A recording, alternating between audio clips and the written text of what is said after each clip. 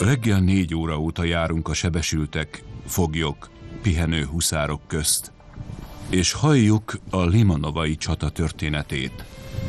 De mi, magyarok, a kérdéseinkkel mindig csak a nádasdi huszárok éjszakai harcára térünk vissza. Az orosz halottak között járva alig láttam rajtuk lőtsebet. Ahogy a messzelátón nézek a völgyön túl, a hegynek a lábánál, egy magányos sírnál egy huszár térdel. Lehajtott fővel imádkozik. A kép fölött valóságos Isten csodája, itt éjszakon, egy héttel karácsony előtt, melegen, szikrázóan süt a déli nap.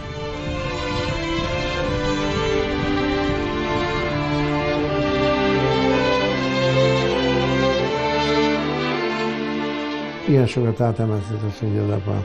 Csodával határos módon megmaradt. Mert ugye nagyapámnak négy fia volt. Aztán ha, minden négy a fronton volt. Egy, egy maradt ott. A Kalman, a legidősebb, még az ott maradt. Természetesnek vették, hogy meg kell halni, a hazáért meg kell halni. Már ő, ő meghalhatott volna nem egyszer, többször is azt mondja. Az ifjú csornai csizmadia mester Újhegyi Béla 1908-ban 20 esztendősen vonult be a császári és királyi 9-es nádasdi huszárezred állományába. Ahogy fia meséli, apja lóra termett. Tisztjei precizitása miatt különösen kedvelték, de azért is, mert kiváló minőségű lovagló csizmákat készített számukra. Az 1688-ban alapított, számos győztes csatát megjárt híres alakulat igazi iskolának számított. Az újoncok itt elsajátíthatták a korban elitlovas csapatnemnek számító huszárság csínyát-bényát. De Újhegyi Béla megismerhette azt a különleges milliót is, ami a városban övezte a nádasdiakat. Huszárnak lenni ugyanis életforma volt Sopronban. Erről 1908-ban maga az uralkodó Ferenc József is meggyőződhetett. A korban olyan kiváló tisztek váltak a sorállomány példaképévé, mint a díjnyertes lovas Hanvai László, vagy éppen a Vármegye alispányának fia Hajas Dezső. Az 1886 óta az ezrednél szolgált Múr ott Márt, ahogy az ifjú huszárok maguk között hívták, Múr bácsit pedig megkülönböztetett tisztelet övezte. A páratlan csapatszellem magával ragadta az újoncokat is. Újhegyi János szerint egyetlen egy képesség azonban nem volt tanítható. Lóra születni kellett. A sorozatlövés a gyors tüzelő fegyverek megjelenésével teljesen megváltozott a háborúknak az arca. A fegyvernek új alkalmazást kellett keresni, így a lovasságnak is más feladata lesz, mint egy hagyományos huszároham, amely egy ilyen fegyverekkel szemben már szinte öngyilkosság volt.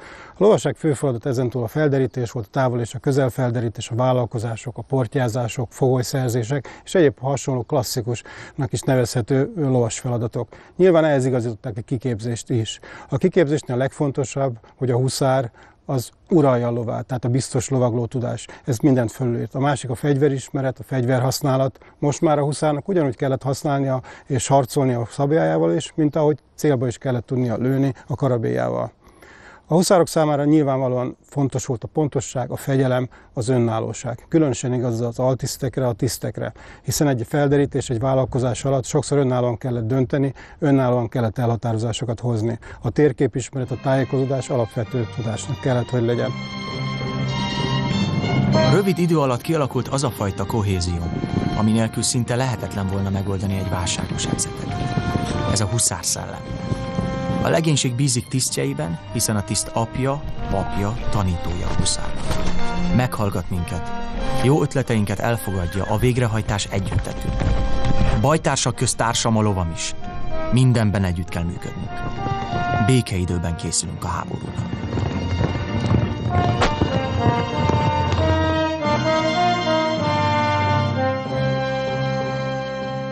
Ferenc Ferdinánd meggyilkolásának híre gyorsan terjedt Sopronban is. Sokan ismerték itt, hiszen a trónörökös 1890 és 92 között éppen a nádasdi huszárok ezredparancsnokaként szolgált.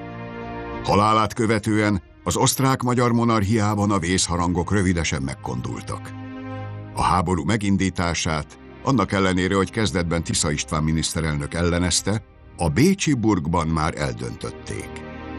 A monarchia kizárólag Szerbia ellen kívánt háborúzni, csak hogy a kis balkáni állam mögött ott állt Oroszország. A Franz Konrad von Hötzendorf tábornagy vezette vezérkarnak tehát két frontos háborúra kellett terveket készítenie.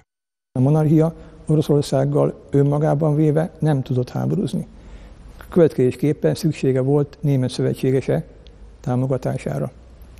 Mert pedig, hogyha Németország belép a háborúba, az azt jelentette, hogy az akkor Oroszország mellett Franciaország is, tehát Oroszország szövetségese szintén belép a háborúba, ez pedig egyet jelentett volna egy kontinentális vagy akár világháború kirobbantásával is. Mindenesetre, mint mondtam, szándékosan csak Szerbia ellen mozgósított a monaria, és ennek megfelelően aztán az a kontingens, amit ide szántak a szerb hadszintérre, ez került mozgósításra, 28-án volt az első mozgósítás nap, és ez volt az a mozgósítás, amely már érintette a 9-es soproniakat is, tehát a Nádasdi 20 is.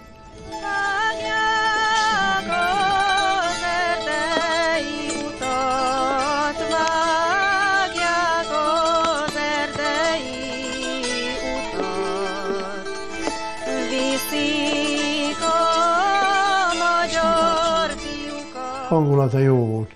Fiatalok voltak, aztán meg ilyen hazaszeretetre nevelték ma iskolába gyerekeket, ma akkor is. Aztán ugye mire katonák bevonultak, aztán a fokozódott.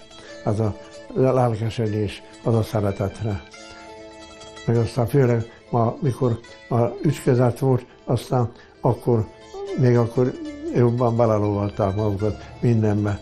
Ugye győzni akartak minden áron. A B lépcső itteni csapatainak a nagy része lényegében véve tüntetett, demonstrált. El kellett hitetni a szerbekkel, hogy amíg itt vannak, a digitális hatalmas támadás kezdődik majd. Amikor 1914. július 31-én a monarchia az oroszok ugye, mozgósítására válaszul kénytelen volt maga is elrendelni az általános mozgósítást, tehát valósággá vált az, amit korábban féltek, hogy két fronton kell majd háborúzniuk. Akkor döntés született arról, hogy ez a bizonyos B lépcső, amiről beszéltünk, ez augusztus 18-ától kezdve folyamatosan elszállításra kerül Galíciába. Ennek megfelelően kerültek aztán elszállításra a 9-es huszárok is. A frontra érkezett huszárok már a háború első napjaiban nevet szereztek maguknak. Stojanovnál a kassai 5-ös és a marosvásárhelyi 9-es honvéd huszárok nyílt terepen, tűztámogatás nélkül 1800 lépés távolságról kezdték meg a lovasrohamot. A huszárok megugrasztották még a rohamhoz fejlődő orosz lovasságot is. 48 órán belül azonban Gorodoknál fordult a kocka. A magyar lovasság, amikor Gorodok elé ért, zárt alakzatban csatarendbe fejlődött, és felderítés nélkül, semmivel sem törődve, ebben a célszerűtlen alakzatban gyalogságunkra rohant. Tüzérségünk élénk tüze, majd gyalogsági sortűz fogadta, az őrülten bátor, de eszeveszett rohamot. Így emlékezett vissza az ütközetre maga Brusilov orosz tábornok, akinek katonái az emlékiratok szerint sírtak, miközben a magyarokra tüzeltek. A halálroham során közel 500 huszár és 650 katona ló veszett oda. Sokan már az egész fegyvernemnek a, a, a végét jósolták.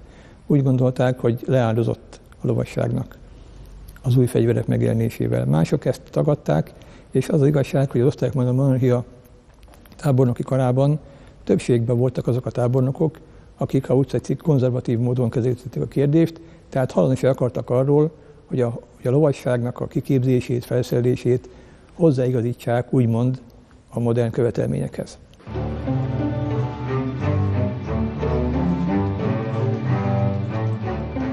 A lengyel-magyar kapcsolatokban új fejezet nyílt itt Krakó főterén, illetve a környező csatatereken. 1914 első háborús hónapjaival a lengyelek számára lehetőség nyílt Lengyelország újra szervezésére. Ezért jött létre a lengyel légió, amely válvetve harcolt az osztrák-magyar csapatokkal.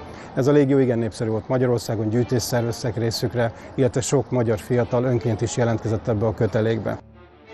Beszéltem magyar fiúkkal, akik elszöktek hazúról. Sok van ilyen, aki nem győzte bevárni a gimnázium padján a katonasort. Úgy összeszorul a szívem, ha látom őket.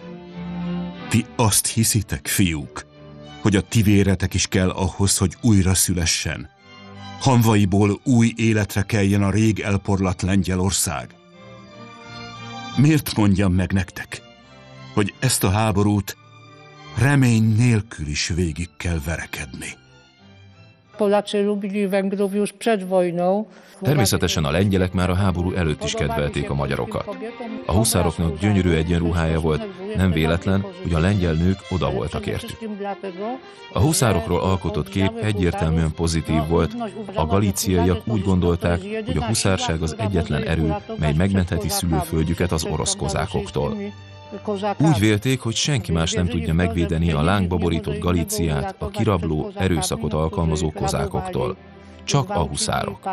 A lengyelek tudták, hogy a kozákok tartanak a huszároktól, vörös ördögöknek hívták őket. Egyszerűen féltek tőlük.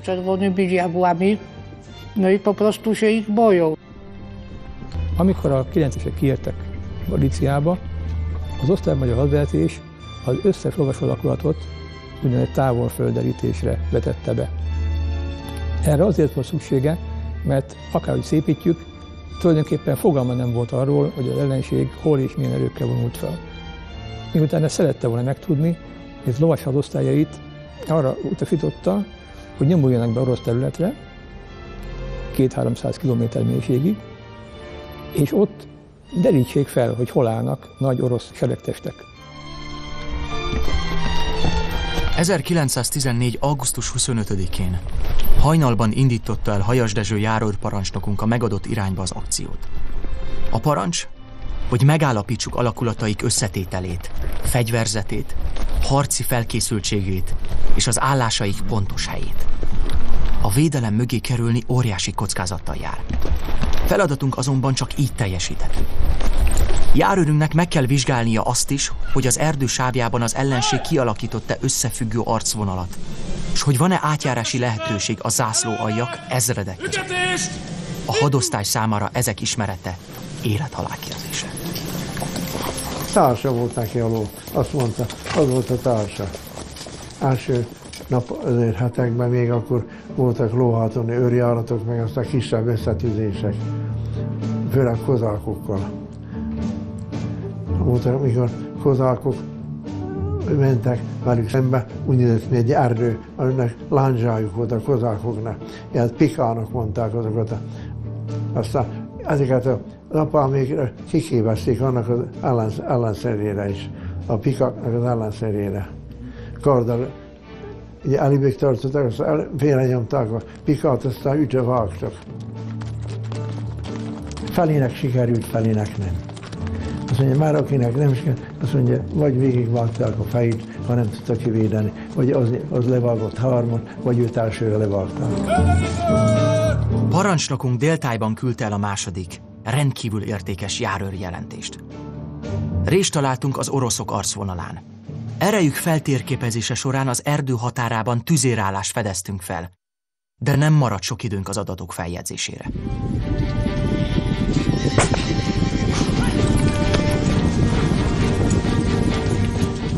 Szétugrasztották őket, ilyen időben mentek bele, valami, szintén egy járőrbe, aztán ugye a hajózás meg lemaradt, aztán nem, ugye elesett, meghalt. Már, már ők meg nem tudom hányan voltak, mert megmenekültek, de nem tudták kihozni onnan már, akkor a hajózásért, már akkor ők is ott maradtak volna.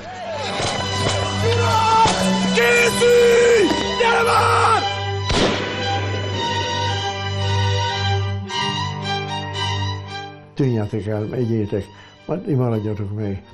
Igen, rendes ember volt az a hajózás. Feláldozta magát.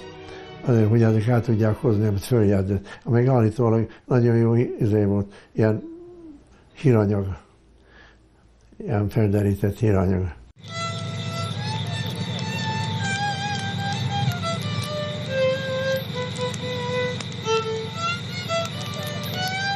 Gyere Béla, énekelj! Újhegyi, gyere! Az eső nagy utcán. Barna kislány sírva muzsakútnál. Nem súlyog a fitra, súlyog a kezébe. Az, aki fronton harcol a területére.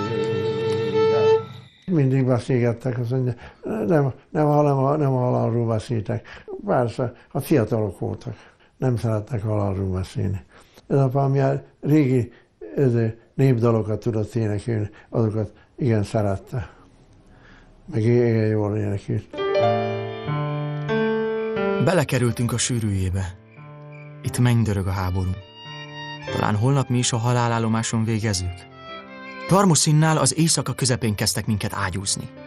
Tun kapitánynak köszönhetjük, hogy rendet tett soraink között. A 15-ös gyaloghadosztályt megtizedelte a váratlan csapás. De vannak jó hírek is.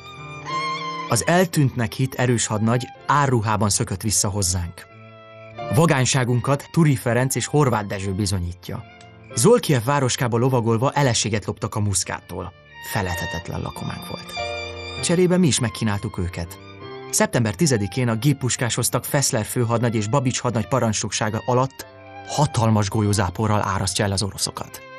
Az öröm közepette is hősi halottjainkat gyászoljuk.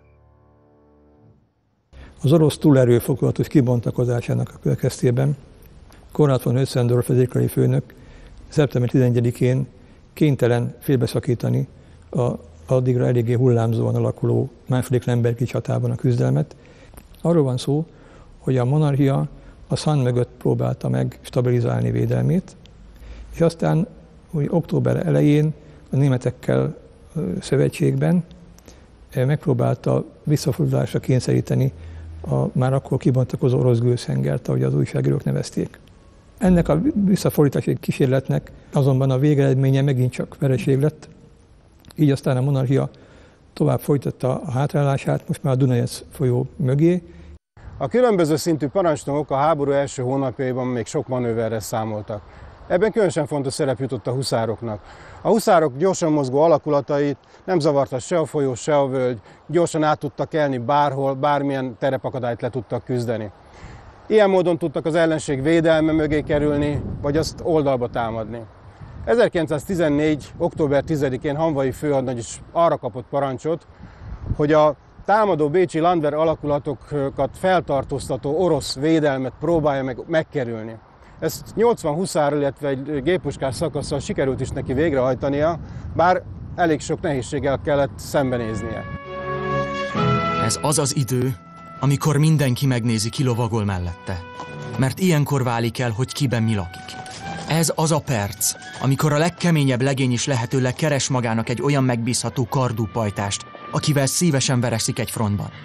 Ez az a perc, mikor a huszárok szép csendesen meglazítják a kardot a hüvelyben, a forgópisztolyt a tokban, megtapogatják búcsúzóra a fényképekkel tele tárcájukat, vagy egy kis keresztet, és úgy, suttogva kicserélik a végső óhajtásaikat, utolsó megbízásaikat. Az apámnak aztán ilyen hanvai voltak, parancs század parancsnoka, majdnem egész háború alatt is. Aztán ő neki volt lovásza volt. Már a hanvai békeidőben versenyzett. Azt az apám nagyon sok felderítésben volt benne, mert a hanvai vitte magával, mert jó lovas volt. Kellett valamit hétrehajtani, valamilyen ez a rajtűtést, azt a, a hanvait küldték mindenhova. Csak fán a gyereknek mondták, ők ottan maguk között. Fán a gyereknek mondták.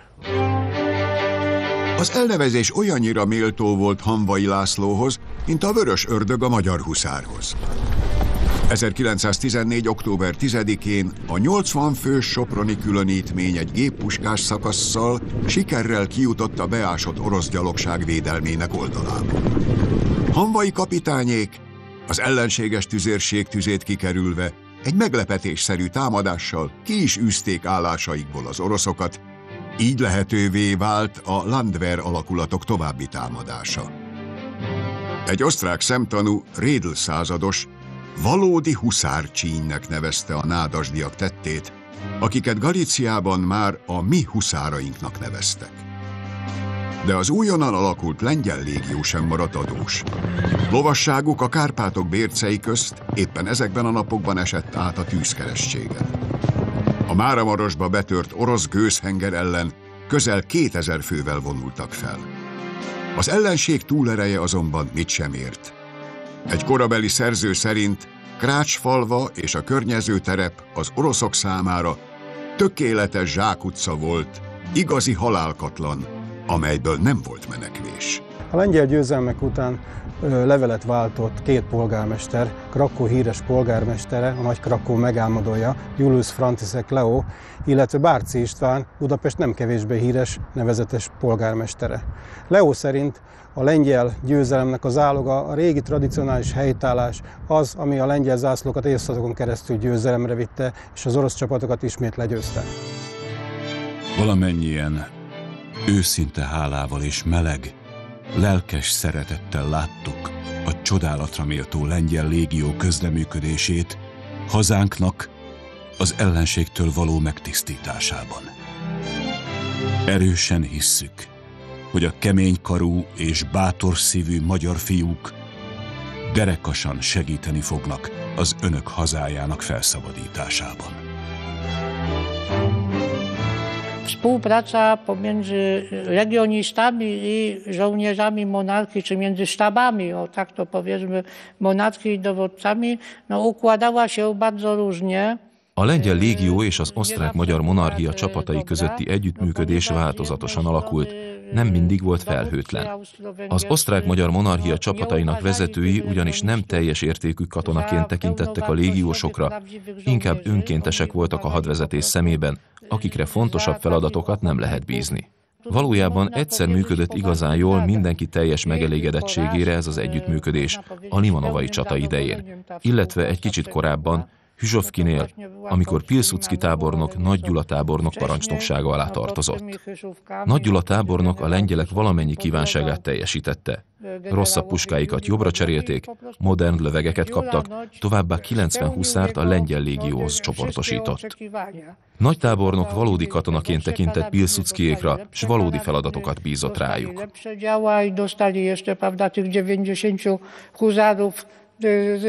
wsparcia no i wtedy, prawda, generał Dziura Nodzich potraktował tak jak prawdziwych żołnierzy i powierzył im prawdziwe zadanie.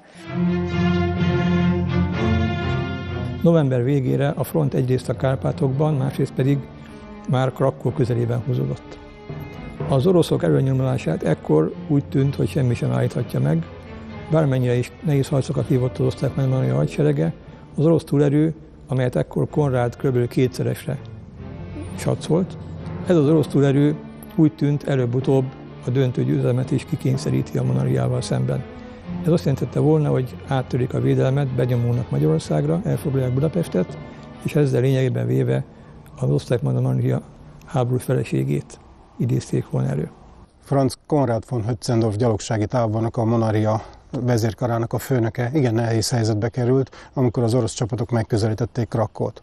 Meg kellett védeni a várost, illetve meg kellett oldani azt a problémát is, hogy a város és a Kárpátok között egy jelentős hézag alakult ki. Ezen keresztül az oroszok akár Sziléziáig is eltámadhattak. Ö, azt a tervet dolgozta ki, és amit ezt aztán végre is hajtottak, miszerint a negyedik hadsereget visszavonja Krakóig, az erődrendszerre támaszkodva kialakít egy védelmét, a felszabaduló csapatokból pedig létrehoz egy hadműveleti csoportosítást, és ezzel a hadműveleti is csoportosítása ellentámadást hajt végre úgy, hogy az oroszoknak a bal szárnyát átkarolja. Ezt a támogatást a Kárpátokból a harmadik hadseregnek is kellett támogatnia, hogy az ott támadó orosz csapatokat lekösse. A nádordi uszárok feladata voltak éppen e, azzal függött össze, hogy ugye mozgékony alakulatként igyekezniük kellett jóval nagyobb területet ellenőrizni, mint amennyit egy gyalogsági alakulat képes lett volna ellenőrizni. Gyors mozgással igyekezniük kellett megakadályozni az oroszok benyomulását ebbe a bizonyos térközbe, különösen annak a legveszélyeztetettebb pontjánál, Najszandeznél, a Dunajec folyón létesített átkelőhelynél, ahol vasúti és közúti híd is létezik. A 9-eseknek tulajdonképpen a szerepe nagyon fontos volt, de nem csak az övéké volt fontos, hanem valamennyi ennek a bizonyos vegyes sertesnek, amit később aztán ugye többféleképpen átalakítottak és többféle feladattal bíztak meg. Ennek a keretén belül kellett teljesítenie a rájuk bízott feladatot. Hát vademberek vagyunk mi. Már a háború az otthonunk. Közülünk is sokan elestek már. A dögésznek ad munkát bőven a muszka, de a kolera is tizedeli sorainkat. A körülmények aggasztóak, ráadásul már nyakunkon a tél. Örvendünk, ha hetente tudunk tisztálkodni, meg egy jó aludni. Járhat most a fejedben, drága büske. Én meg vagyok. Ne aggódj. Sok a megfáradt, beteg köztünk. Mi magunk meg lovaink is megsínlik a hadak útját. Meg kell találnunk a belső békét, különben felőről minket a háború.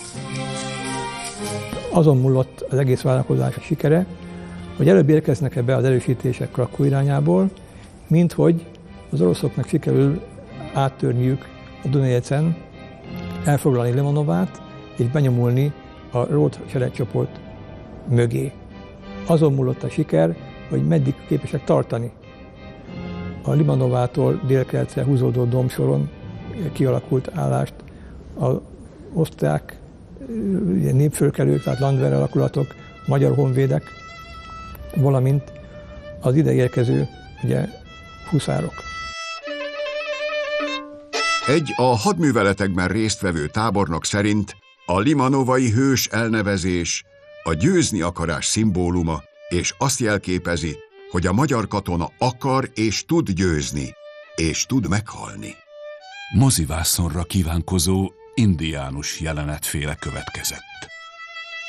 A menekülő két orosz lovas vágta közben, a nyerekben hátrafordulva pisztolyjal lövöldözött ránk, mire a mellettem vágtató Harti Péter huszár lekapja a karabéját, és ő is tüzel. Alig lehettünk tőlük száz méterre. Véletlenül, de Vinetunak is becsületére váló mesterlövéssel az egyiket pont fejen találta. A felderítetlen területen végrehajtott akciót megkoronázta az az elkobzott irattáska, mely rendkívül értékes orosz információkat tartalmazott. Az erősítést csak ezen adatok ismeretében indíthatták el Krakó felé. A következő bátor tett a néhány nappal korábban huszárokkal megerősített lengyel légióra várt. Hatodikán az ellenséget nem tartóztatom fel, eljutott volna egészen Limanova alá. Ez mindenek előtt derék fiaim érdeme, akik az egy hat ellen küzdve egész nap mindössze 12 kilométert szorultak vissza. A bátorságnak mindig megvannak az eredményei, különösen a háborúban. Arra kényszerít, hogy hamisan mérje fel erejét az ellenfél, és ez nagy plusz a bátor számára. Ők voltak az az alakulat, amely egy meglepő ugye, hadművelet keretében a Dunajci átkelőnél, Najszandesznél a közeldi oroszokról nagyon komoly információkat hoztak. Tehát ők beszámoltak arról, hogy itt bizony már elég komoly orosz erők gyülekeznek, és egy váratlan tűzcsapással sikerült is őket valamilyen módon visszakényszeríteni. Persze jelentős jelenállást nem tudtak kifejteni, úgyhogy végül ők is visszavonultak Limanova felé majd. Mindenesetre ez egy nagyon hősies akció volt a részükről. Limanova az én családomnak az gyerek, gyerekkorom óta nagyon nagy dolog, mert ugye nagy, nagyapámat ott, vesz, ott vesztettem el. Édesapám révén hallottam először ugye Limanováról, mert más, máshol nem iskolában, ilyen helyeken nem, nem említették a limanovai ütközetet, és édesapám mesélte el, hogy a magyar huszárok milyen hőstettet hajtottak végre. Múr ott már az ezredesi rendfokozatot 1914. augusztus 1-én kapta meg. Ekkor Sopronban teljesített szolgálatot a póttest parancsnokot. Élete nagy álma volt, hogy egyszer szeretett ezredének lehessen a parancsnoka. 1914. december 1-én ezredparancsnoknak nevezték ki, majd elindult Krakó védőbástyája Limanova felé. Huszárok! Köszöntelek benneteket abból az alkalomból, hogy a legfőbb hadúr kinevezett a 9-es számú huszárezred parancsnokává! További vitézi helytállást, éljen a király! Vigyázz, úr! Ezredes úr!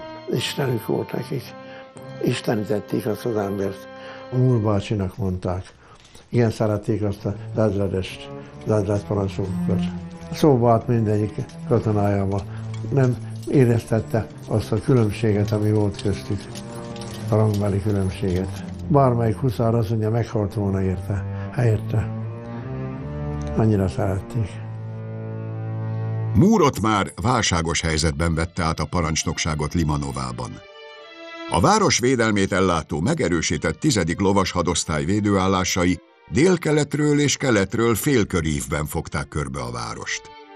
Ugyanis a közeledő orosz 8. hadtest 15. hadosztályának előrenyomulása a Limanova kaninai műút mentén volt várható.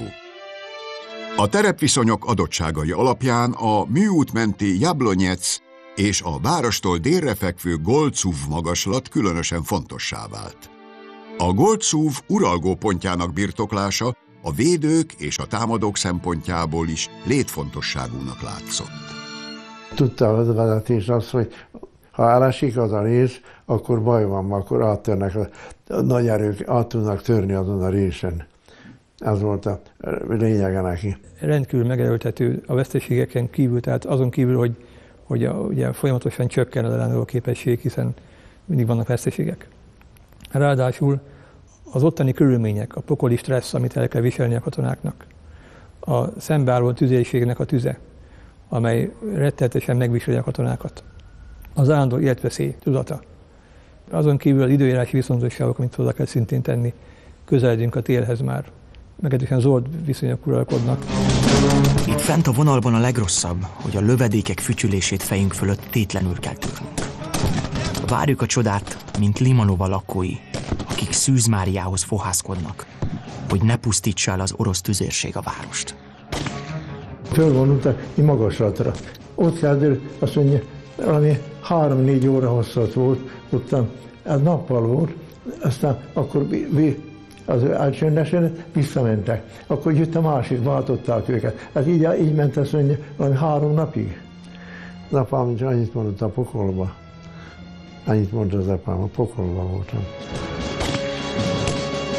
A Goldszuv magaslaton a császári és királyi 13. huszárezred különítménye, a nádasdi huszárezred géppuskás szakasza, egy század lengyel légionista és a Landsturm zászló egy századának katonái helyezkedtek el.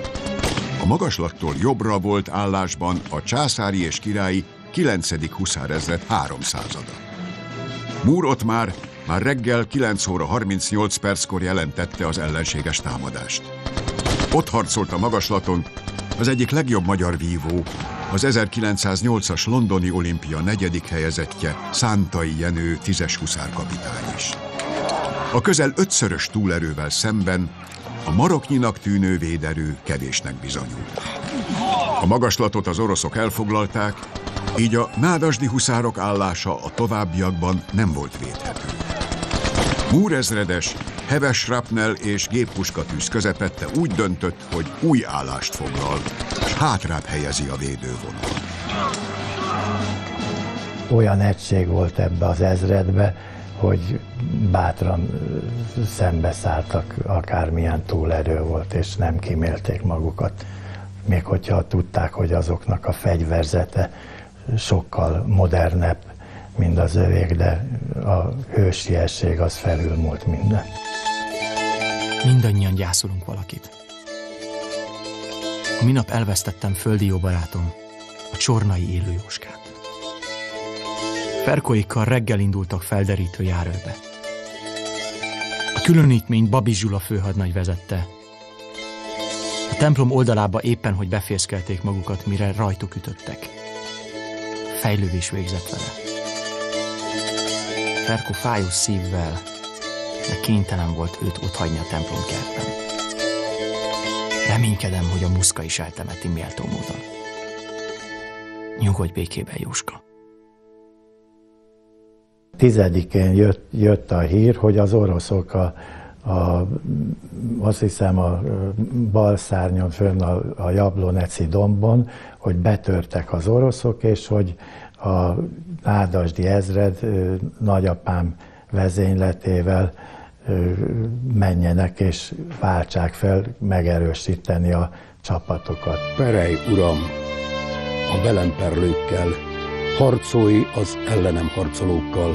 Perej, uram, a velem perlőkkel. Perej, uram, harcolj a velem perlőkkel. Ragadj pajzsot vértet, harcolj az ellenem harcolókkal. Ragadj, ragadj pajzsot, ragadj pajzsot vértet, és siess, és siess segítségemre. Védj elő láncsát, csatabárdot üldözőim ellen. Szólj így hozzám, én meg segítlek téged. Érje szégyen és gyalázat azokat, akik életemre törnek. Hátráljanak meg, és piruljanak, akik rosszat terveznek ellenem. Legyenek olyanok, mint a szél hordta polyva. Az Úr angyala szórja szét őket. Legyen útjuk sötét és sikos. Az Úr angyala üldözze őket.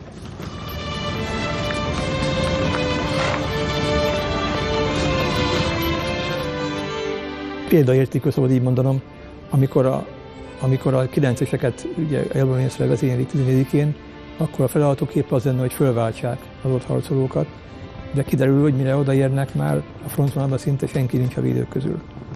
Szinte mindenki meghalt. És erre nyilvánvaló módon nincs lehetőség akkor vált, a felváltást megcsinálni. Egyetlen megoldás van, amit Murot már, akkori parancsnokuk, ugye megparancsol nekik, utána előre.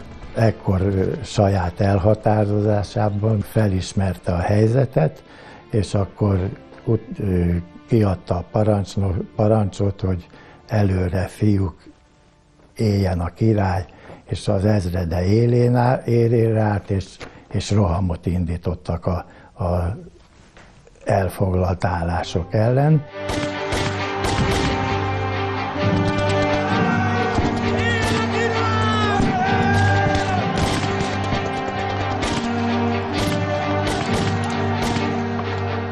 Apám ott volt, nem messze tőlem.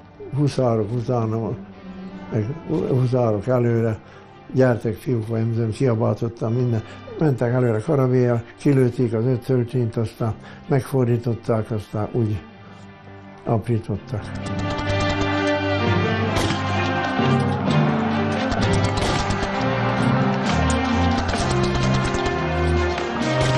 Nagyapám is halálos lövést kapott, de ezzel látszik, hogy milyen jó kiképzés, és együtt volt ez az ezret, tehát hogy, hogy nem estek pánikba, hogy a, vezetőjük halálos és sérülést kapott, és hátra vonták, vitték hátra, tovább folytatták a, a, a harcot.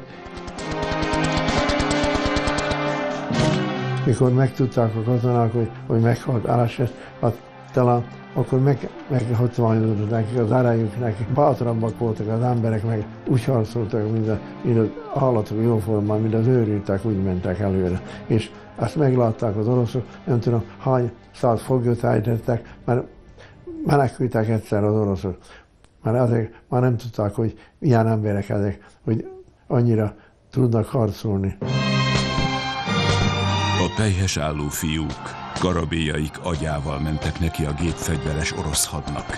És minden tűzön, szuronyon, golyószóron keresztül, éjfél utántól másnap délelőtt tizenegyig verekedtek. Bőven arat a halál. Sok, Nagyon sok bajtársunk alussza Limanovánál örkálmát. Az állás azonban ismét a miénk.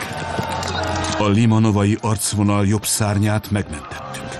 A tízes lovas hadosztály, mint az oroszlánok küzdve, a szó legszorosabb értelmében az utolsó emberig feláldozta magát.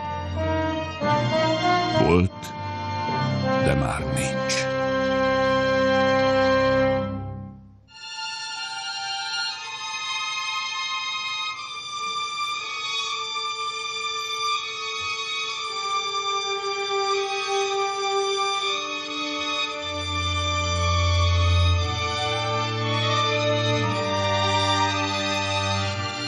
Ott a halottbajtársának megrázta a kezét, szervusz pajtás, majd megyek utánad. Akkor már többet vissza nem ment, már ma, ma azt mondja, már él, ki voltunk merülve, azt mondja, ki voltunk merülve. Lefektettük a lovat, azt mondja, azt oda mentünk vasárnap ott. Nem volt hó, december 14 nem volt hó. Fiam, ne tudd meg azt mondja, mi volt az. Ne tudd meg. Elmegyek ember az élettől. Aztán olyant is mondott, hogy volt a halottak hogy olyan, aminek két mellé vágták a fejét. Ilyen, ilyeneket mondott. Mikor, belemelegedett a beszélgetésbe. Aztán hamarabb hagyta, mert ma akkor nem, ő nem bírta mondani. Akkor azt mondta, ne tudja a többet.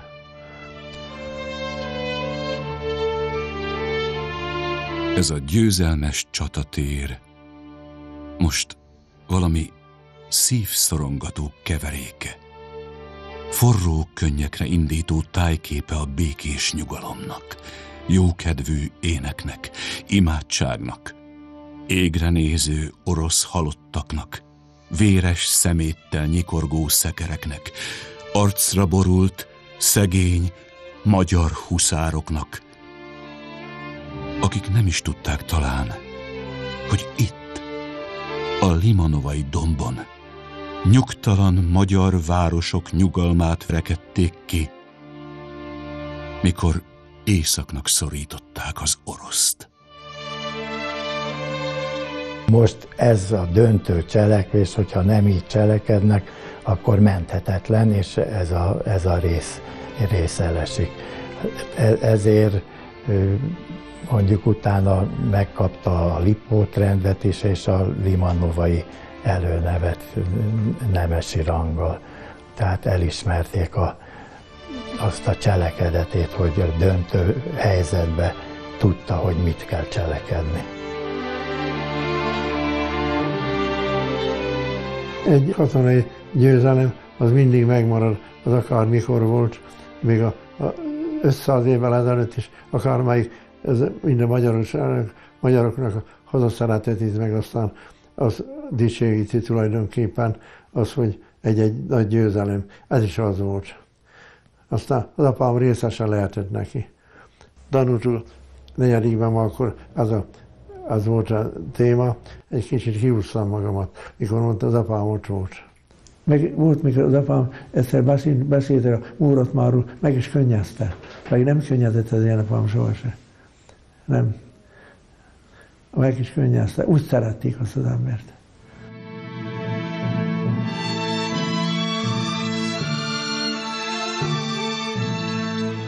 A Limanovai győzelem szinte gyógyír volt a háború első hónapjainak vereségeire, óriási veszteségeire.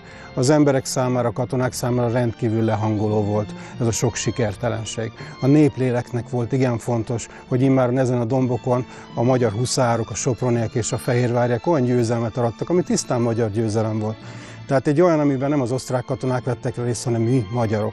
A háborús propaganda nyilván ki is használta ezt a sikert, és próbált az embereket lelkesíteni a háború sikeres folytatására. Nem kisebbítette a győzelem értékét az se, hogy most már tudjuk, hogy az orosz katonai vezetés milyen hatalmas hibákat követett el, ez mit sem csorbít a magyar katona helytállásán dicsőségén. Klub Boczmara Mura i mauzoleum, no, którym Mur Ottmar sírja és mauzóleuma, melyet kiemelten gondozunk, egészen kivételes a katonai temetők sorában. Európában sehol máshol nem található a Limanovaihoz hasonló koncepcióval létrehozott sírkert, ami több, mint temető, hiszen már az első pillanattól kezdve egyúttal győzelmi emlékhelynek is számít.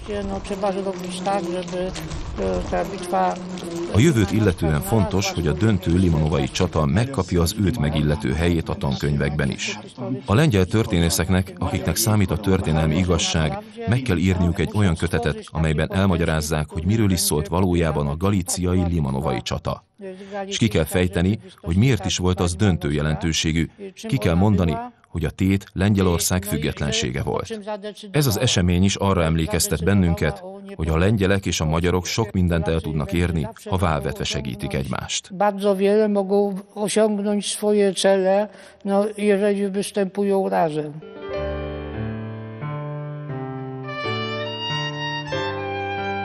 A lengyel-magyar barátság ugye mindig megvolt. És talán a lengyel részről még jobban tartották a barátságot, mint, mint a, a magyarok.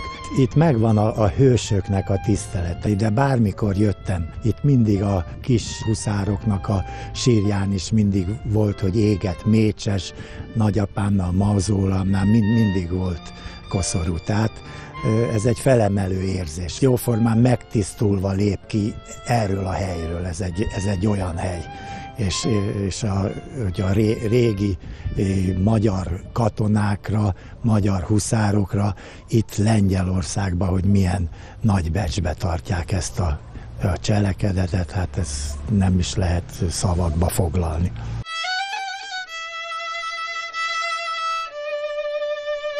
A 60-as években agyvérzést kapott. Bekerült a kórházba, az idegosztályra. Idegosztályon ápoló, amely utcabeli gyerek volt, együtt jártunk iskolában Misivel.